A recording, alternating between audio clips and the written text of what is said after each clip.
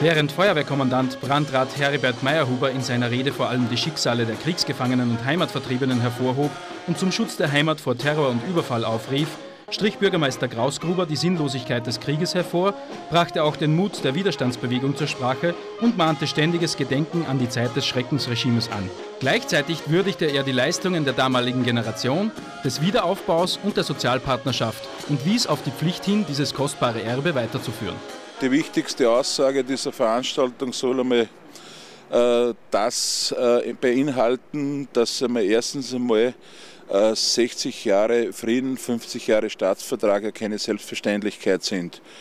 Und äh, wir eigentlich es zu verdanken haben, unseren Vorfahren, die wo sie eigentlich den Krieg miterlebt haben und trotz oft körperlicher Behinderung und langer Kriegsgefangenschaft unser Land wieder aufgebaut haben. Also ich muss sagen, es sind alle Beteiligten sehr diszipliniert gewesen und das ist einmal Voraussetzung, damit man überhaupt so Fest abbrechen kann.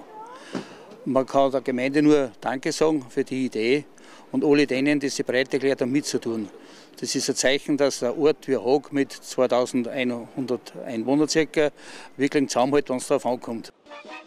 Die Landtagsabgeordnete Gerda Weixler unterstrich in ihrer Ansprache die Wichtigkeit, wachsam gegenüber Chauvinismus und Geschichtsverzerrung aufzutreten und bezeichnete den vor 50 Jahren unterzeichneten Staatsvertrag als Geburtsurkunde für Österreich.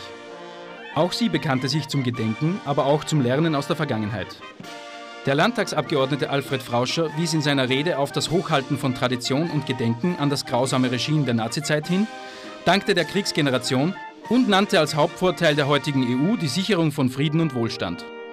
Den Höhepunkt des Abends bildete der große Zapfenstreich der Marktmusikkapelle Haag mit Kranzniederlegung am Kriegerdenkmal und Mahnwache des Bundesheeres mit Salutschüssen.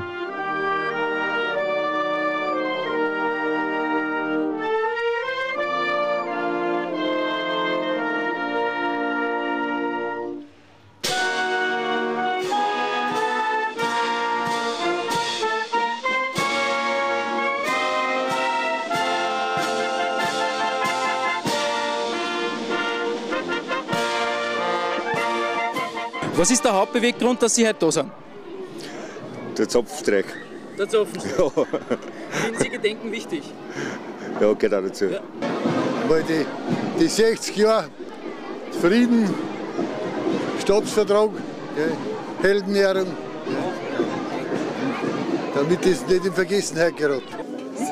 60 Jahre Frieden. Sehr gut, sehr gut. Und 50 Jahre Staatsvertrag.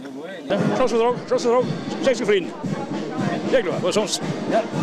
Frieden, Frieden haben wir haben, nein, Gott sei Dank. Wie wichtig ist für Sie Gedenken? Ganz wichtig. Ja. Weil, früher dabei, ne? Hitler war nicht ganz scheiße. Ja, aber sie was. Gott sei Dank haben wir Frieden, nein, Gott sei Dank.